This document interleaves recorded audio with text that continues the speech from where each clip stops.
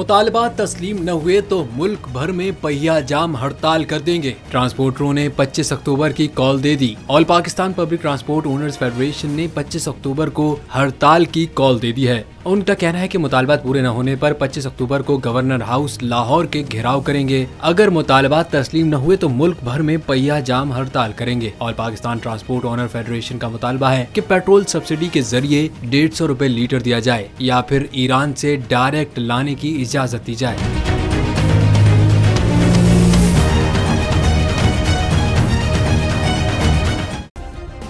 Subscribe करें और bell दबाएँ ताकि कोई खबर रह न जाए।